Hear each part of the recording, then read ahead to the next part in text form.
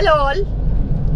This is Dr. Shilpi Reddy and welcome to live and we're going to talk some exciting topics and it's going to be a huge learning journey this way. I wanted to really use my time uh, so that I interact with a lot more of you all more frequently and uh, this is one way I thought I will make sure that uh, we will keep in touch. And uh, this is all about today's topic. And uh, today's topic is what care should you take during this lunar eclipse? There are several pregnant women out there who are looking for advice and uh, what they have to take care for this lunar eclipse. As you all know that lunar eclipse is uh, on Sunday and that too in the night.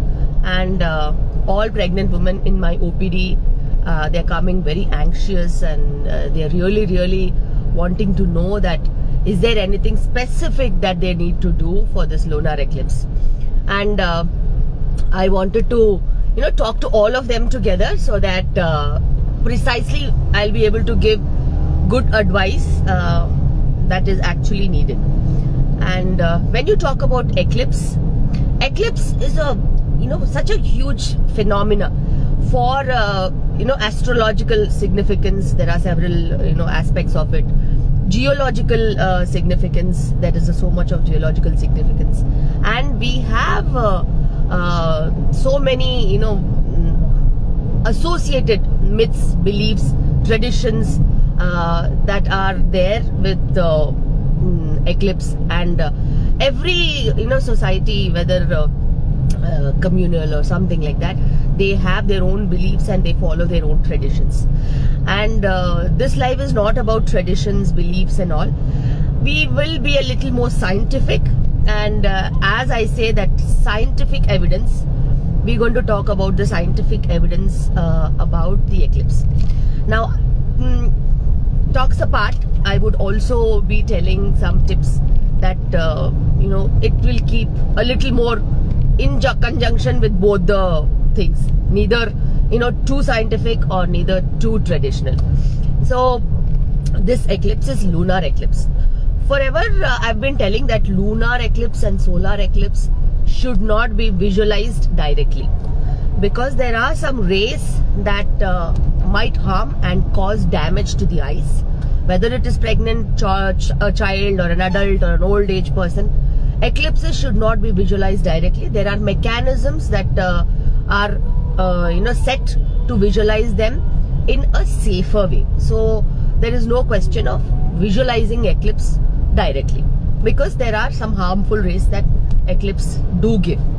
And uh, another very very important thing is uh, during an eclipse uh, it is ideal to be indoors and uh, because uh, why traditions have been built? Because there were lesser homes and people used to sleep outside and live outside uh, most of the time. And home used to be a place for other activities. Sleeping outdoors was a common thing. So that's why uh, during an eclipse they, they used to say that don't sleep be active be alert. But now the eclipse that is coming up day after tomorrow it's lunar eclipse you can actually sleep off because it's in the night. You don't have to be active. You don't have to do anything. All that you need to do is have your food keep yourself hydrated and sleep and take rest.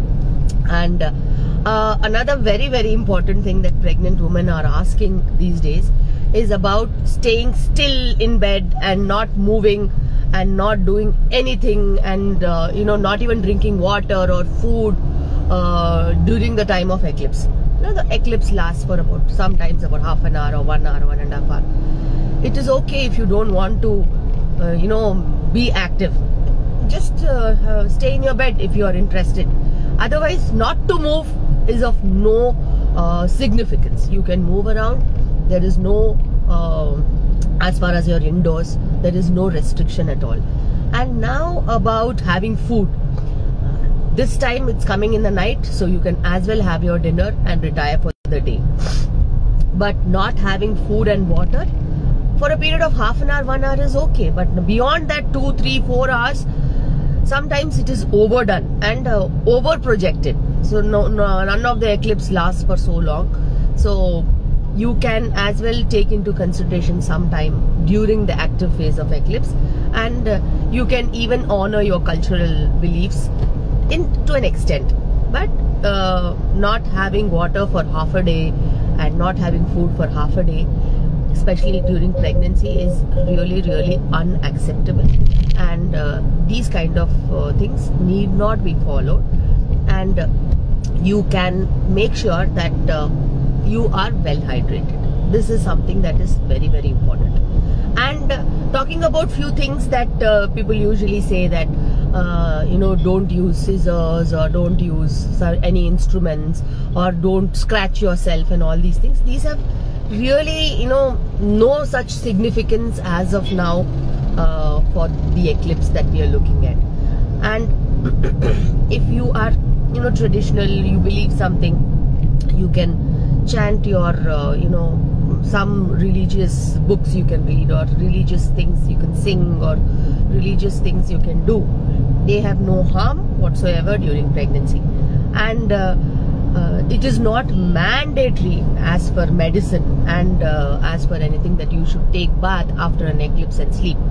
But yes there are so many energies that shift and drift uh, because of the energies and uh, because of whatever uh, changes that happen in one's aura and one's surroundings people would want you to do a bath and then sleep after an eclipse. But it is not mandatory for uh, a pregnant woman to get up at that time and then take bath and sleep. It's not mandatory. I i've been telling my patients uh, in the opd that don't worry. Uh, it is okay if you eat and sleep for the day and don't worry about you know how you move in your sleep don't worry about you know being very strict with your food. Just be like a normal day and you know get away from the hassles of going outside and venturing things outside.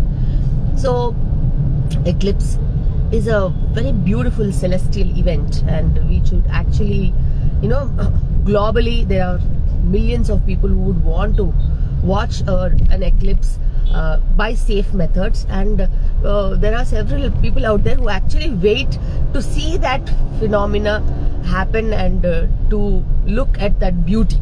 And they use their gears and measures and how to watch the eclipse and all.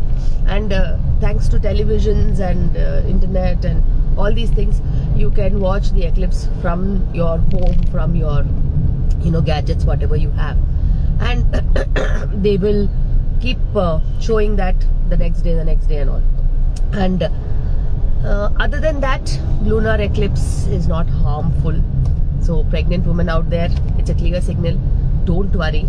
And uh, you sh it should not be a concern. And uh, uh, you should not be worried as such. Yes you will have elders giving you advice. Uh, do not ignore them. You have to listen to what they say. But make sure that you do not fall into a lot of discomfort and to move to scratch to sleep and to drink water is never a problem in pregnant women during an eclipse. It's lunar eclipse. Just take care. Nothing specific or no other specific instructions uh, are necessary. And it's in the night time so you don't have to do anything and uh, it is not going to harm you it is not going to harm your baby. And uh, eclipses do not cause cleft lip and cleft palate. It's only a misnomer. There is no scientific evidence backing that. So this is what uh, I wanted to talk today about eclipse. And uh, I could find some best time moments to talk to all of you all and that's why I did this live. And uh, see you all in another uh, interactive live session. I think I would be doing them uh, often because uh, I wanted to cover certain topics that uh, so many women out there are asking. And uh, this is the best way that I can do and manage my time. And mm, anybody who has any doubt or they want to know about uh, a topic like that please do dm me and i will keep a note of it and make sure that i will talk about that topic in an elaborate way. And education is something that we should really look at.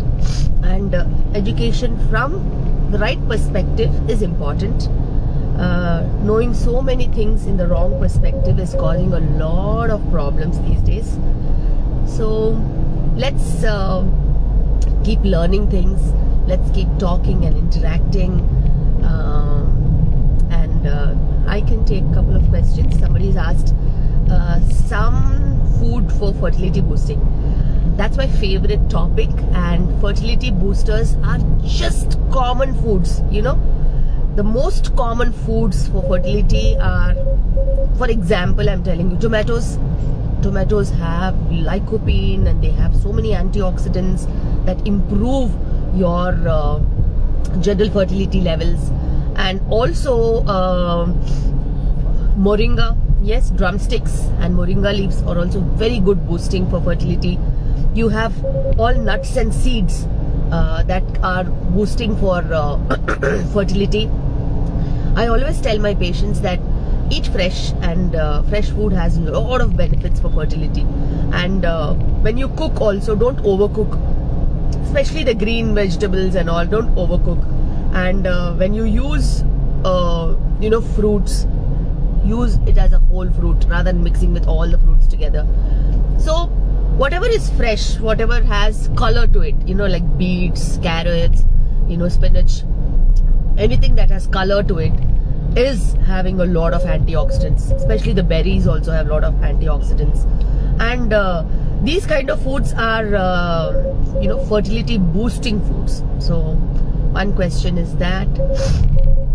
And uh, can we travel during eclipse? I don't recommend travel.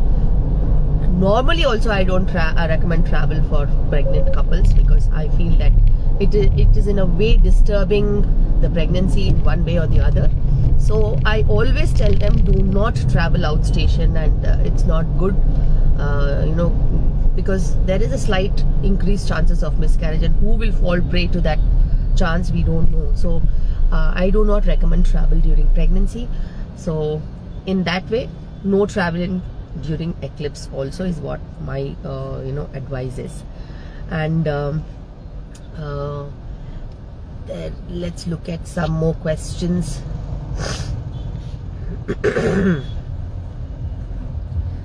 Oh can you talk about HPV vaccine during pregnancy? HPV vaccine is not recommended during pregnancy. And uh, it is one of the vaccines that we are giving in children aged above 9 years be it boys or girls till about 16 years you can have two doses uh, one uh, on the day of vaccination and one after 4 to 6 months.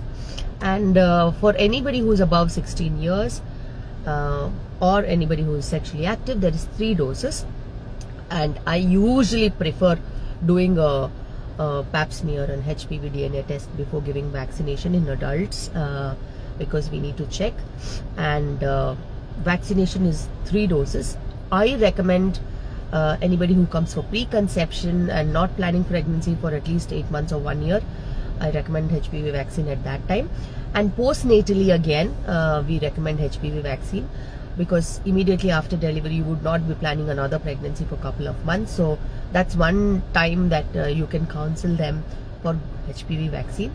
And we have uh, HPV 9 strain vaccine now in Gardasil, Gardasil 9 and Gardasil 9 covers nine strains of HPV virus and uh, this is one of the vaccine that uh, is of uh, use because it does not it not only covers uh, cervical cancer prevention it is also working against anorectal cancer and oropharyngeal cancer. So wherever HPV is causing uh, uh, cancer tendency all these places it is working. And uh,